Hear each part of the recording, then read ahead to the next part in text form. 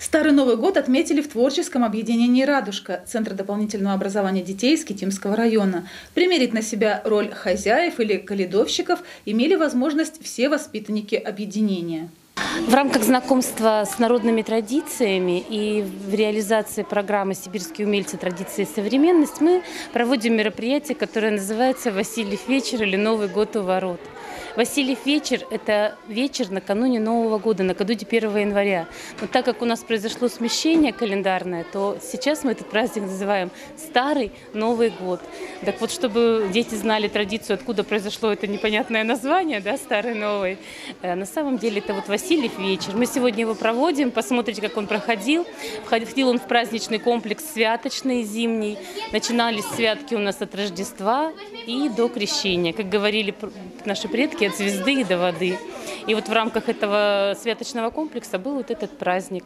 Участники мероприятия – четвероклассники третьей Леневской школы. «Радужку» они посещают уже четвертый год, так что в знании народных праздников они почти профессионалы, шутит руководитель ребят. В гости пригласили родителей – это самые благодарные зрители на мероприятии и помощники при его подготовке. Родители у нас самые активные участники, молодцы, прямо им большое спасибо. Они нам и Васильеву кашу сварили, и, в общем, всем всем-всем помогают родители. Очень дружные родители в этом классе. Просто замечательно, одно удовольствие работать. Современные дети в старорусских нарядах. Так проходит погружение в атмосферу давно минувших лет. Ну и, конечно, тексты. Ребята учат их заранее. В них и история праздника, и его традиции. Объединив все вместе, участники встречи получают замечательную возможность перенестись ненадолго в прошлое и понять, как жили наши предки. Василий был известен как добрый человек, который приходил на помощь нуждающимся. Жизнь его обросла легендами, но православные верят, что мужчина являлся исполнителем некоторых чудес. Святым его признали только лишь после смерти, поэтому день накануне 1 января называют Василием или Святым вечером. Традиции приписывают нам отмечать Старый Новый год, обязательно накрывать богатый стол, приглашать за него тех, кого мы любим и желаем счастья. И еще одна традиция – рассыпать попу зерна пшеницы, призывая урожайный год.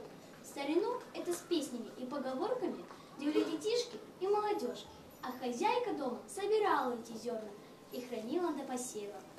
Святки на Руси всегда проходили весело и дружно. Одна из главных традиций праздника – каледования.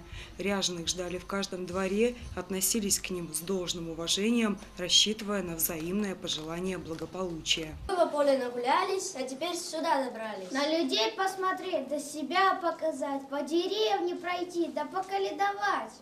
Здравствуйте, каледовщики! Здравствуй, хозяюшка! Сеем, сеем, посеваем, с Новым годом поздравляем! Спасибо, и вас с Новым годом! Разреши, хозяюшка, под окошко встать, каледу рассказать. Тетенька добренька, дай что-нибудь сдобненько. Пышку да лепешку, да свиную ножку. Каледа, Маледа, выходите пирога, сейчас всех угощу. Всем отрежу по куску. Каледа, маледа, мы хотим пирога, не режь, не ломай, без пирог подавай. Весь так весь, подставляй мешок, положу вам пирожок.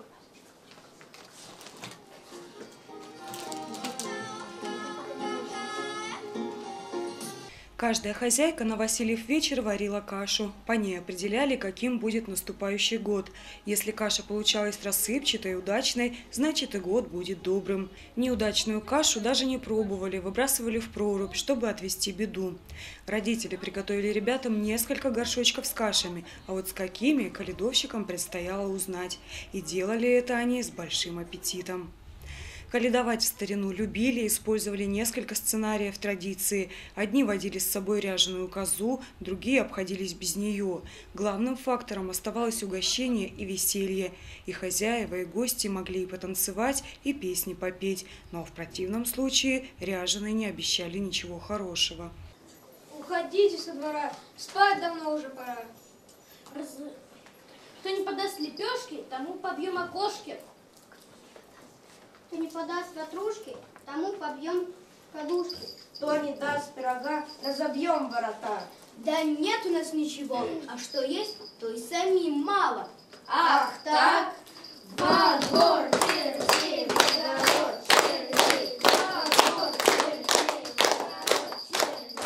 Гадание – еще одна знаменитая традиция святок. Проходили они в разных составах, в шутливой форме или не в очень, и верить в результат или нет оставалось делом каждого. Чье добро?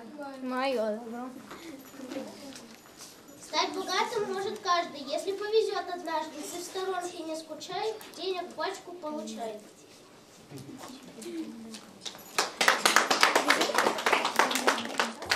Старый Новый год подарил ребятишкам еще один праздник, еще один повод для радости и еще одну возможность получить подарки и положительные эмоции. Встречайте Старый Новый год, он столько радости несет. Огнями елка светит и ждут подарков дети. А кто постарше, свечи жгут, судьбу пытают, чудо ждут. Гадание уж в разгаре, одной бы глядеть в паре. Бумагу жгут, на тень глядят, а свечи в зеркале дрожат. И веселится весь народ под Старый Новый год. Поздравить с праздником хотим, он всеми русскими любим. Сулим вам процветание без всякого гадания. Пускай везет вам целый год, пускай вам счастье в дом придет. Ну что ж, друзья, на этом праздник не заканчивался. Каледовщики шли в какую-нибудь избу, наколедовали, выкладывали на праздничный стол.